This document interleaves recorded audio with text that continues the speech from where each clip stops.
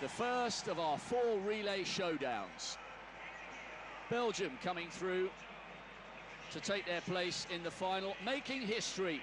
Three brothers in a world or Olympic team for the very first time. Jonathan Borlée, fourth in the 400 metres, he leads them off. 100 metre hurdle gold medalist on leg three, and Jarrin Solomon, fourth in the semi-final, he anchors them.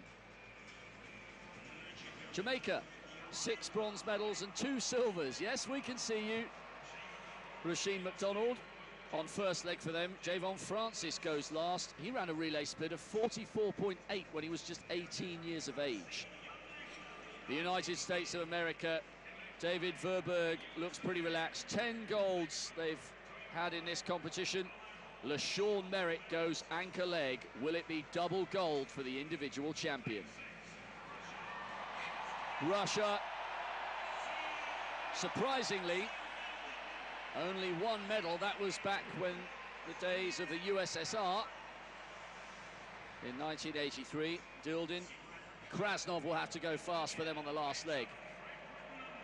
Good quartet from Great Britain. Conrad Williams on lead leg. Martin Rooney going second. Nigel Levine coming in on the anchor leg, the European under-23 gold medalist a couple of seasons ago. And on the outside, the Australians, bronze medalists in 2009, Solomon, Beck, Burns and Thomas. So, the Americans start in lane five.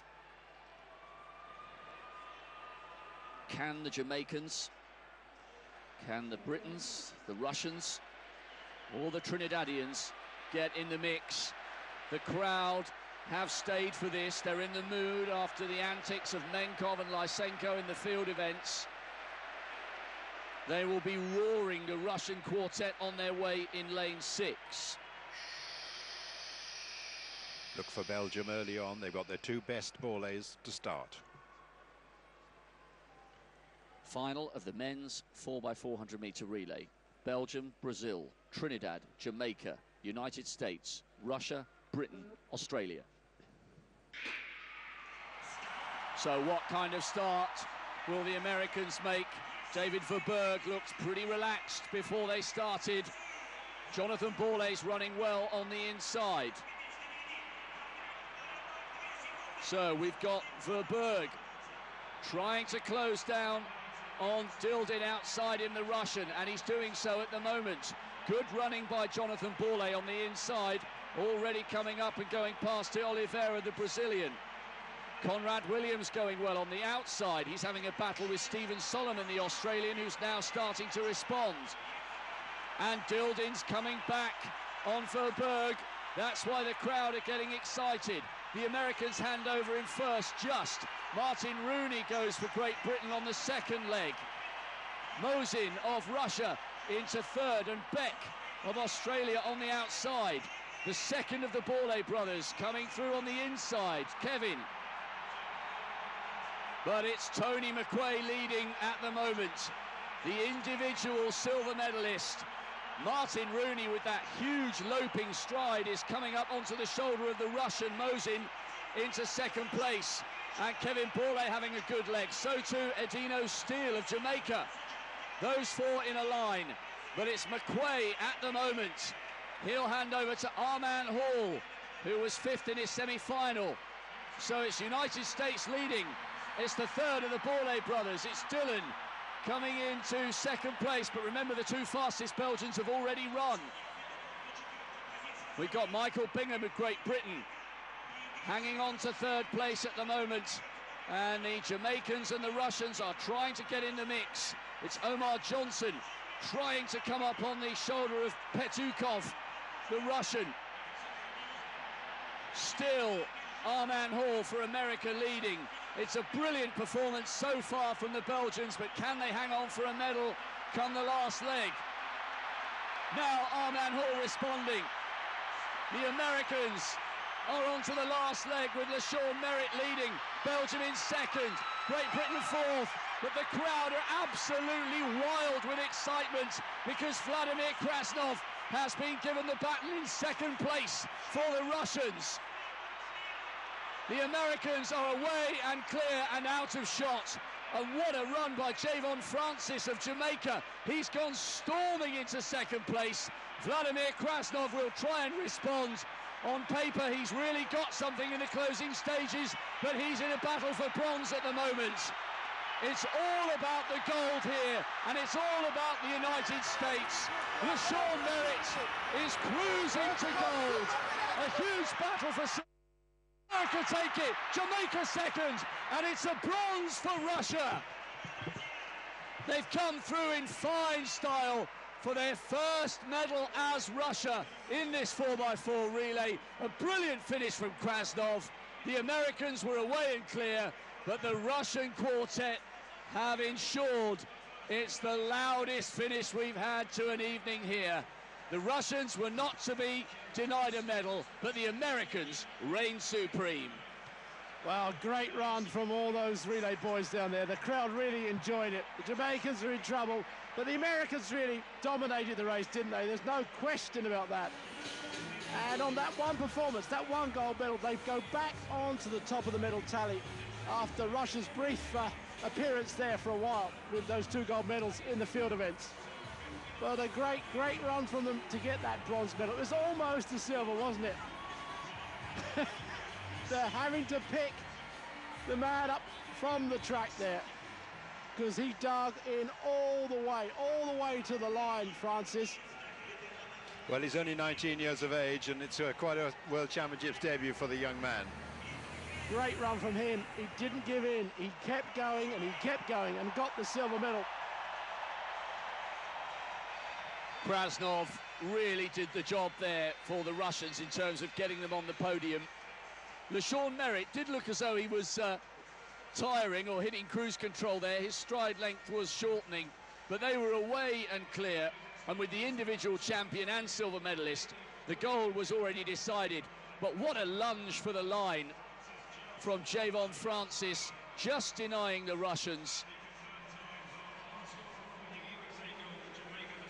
Merritt was cool for the gold, but the drama was about silver and bronze.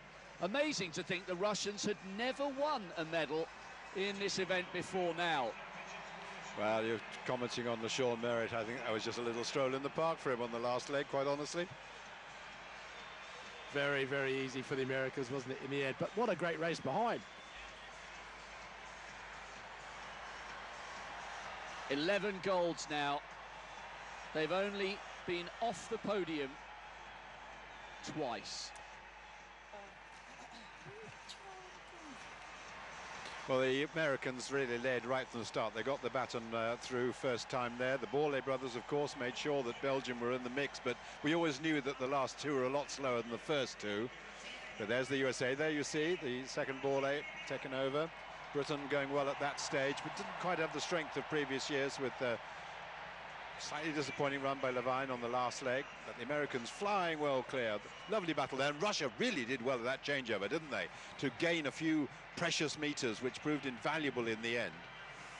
But you saw how far Francis was behind there, Peter. He was a long way back from the, uh, the rest of the field, almost 15 or so meters back in about fifth place.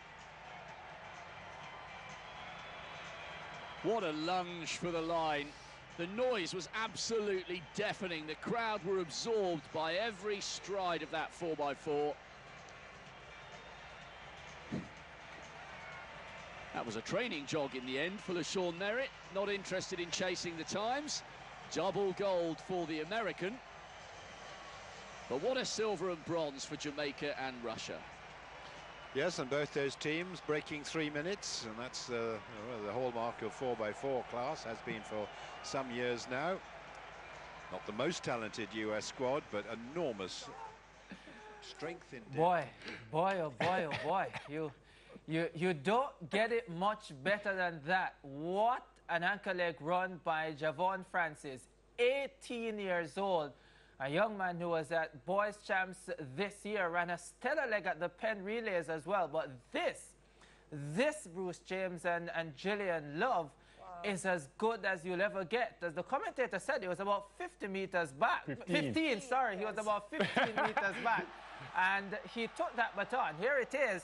well done. He's back in about fifth or sixth. Fifth and place. My goodness me, what an ankle leg run. Yeah, uh, heart of a champion, and he was, he went out, took all of them on the backstretch, got clear of the traffic, and said, "Come and get me," and they could not respond. Yeah, they couldn't. 259.88, the second place time for the Jamaicans. Bruce, um, how do you analyze that? Okay, well, first of all, the team knew that they were down by half a second with the national champion. Look, I have to talk about Javon Francis here. At this point, a young boy would say, you know what, I need to wait and save. He goes all out. He says, I'm going to pass everybody in my wake, and he does that. Now, at this stage, you think, okay, he'll now rest and try to save for the kick. He doesn't. He keeps going. And when you think about what's going through his mind, he'll just run past four men older and bigger than him. He gets to the straight and he realizes this is it. And who comes after him? The Russian, the hometown favorite. And not only does he come after him, he catches him. Does Javon Francis give up? He says, I don't care if I'm born in December 1994, you're not going to pass me. Javon Francis wins a silver medal For for, Jamaica. Jamaica.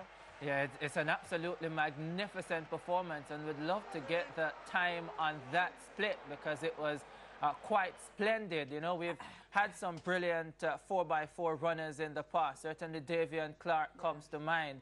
Um, you think, think back all the way to 1952 with that stunning run at the Olympic Games by Herb McKenley. Um, another Calabar man, by the way. Uh, you- you- I saw that one coming. You've got to bias. think of this one in, in that class. It was truly spectacular. And it's a medal as well that not many people had us getting. I, I certainly did not see a medal in the men's 4x4. And up until that final leg, it looked as if it was not going to be possible, Bruce. Uh, it looked challenging because we left the weight on the youngest person on the team, Javon Francis. He is 18. December 1994 is his birthday. He has been running all year. He's been running on the grass tracks here in Jamaica. He went to the Penn, well, at Champs, superstar for Calabar, did exceptionally well. That was expected. However, when he got to the Penn Relays, he actually won for Calabar on that anchor leg, defeating Delano Williams.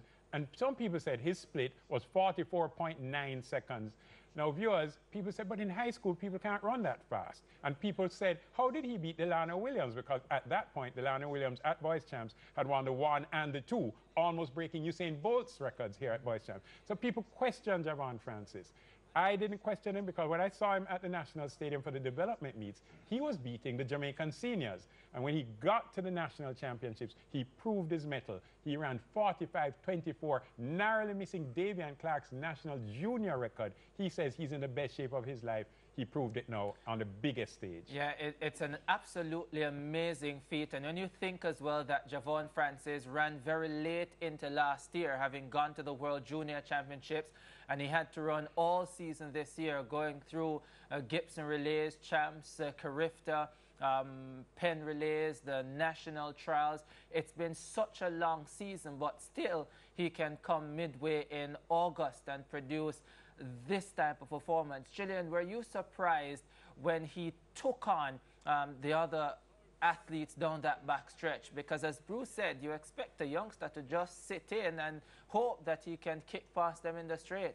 From, from what I've heard from, from all the people who have spoken about this young man, he's a special talent, uh, just the heart of a lion, a champion, battle tested, uh, meet after meet. He knows how to run this race. He didn't um, do so well in the flat event, but that, that doesn't necessarily equate well to the relay. You just need to have somebody with, who goes out there and goes after, the, after it like he wants it. And he did. He just gapped them on the backstretch, like took them out, said, I'm not waiting behind. I'm going to go out there and you catch me if you can. And they could not. Yeah, it's a great day seven for Jamaica so far. Gold by Shelly-Ann Fraser-Pryce in the women's 200 meters, silver in the men's 4x4 relay. Of course, Damar Forbes placed eighth in the men's long jump final earlier. We are going to be, uh, there is uh, Usain Bolt with Shelly-Ann Fraser-Pryce. You're looking at some pictures there. Usain will be getting ready tomorrow to try and achieve uh, his double. We're going to come back. Um, we, we need to get something to drink. We need to take a deep breath and, and we need to try and understand exactly what, What we just just, went on, saw yeah. from the 18 year old Javon Francis, an absolutely magnificent talent. I leave you with this. His nickname is Donkey Man. Now you know why. Let's take that break.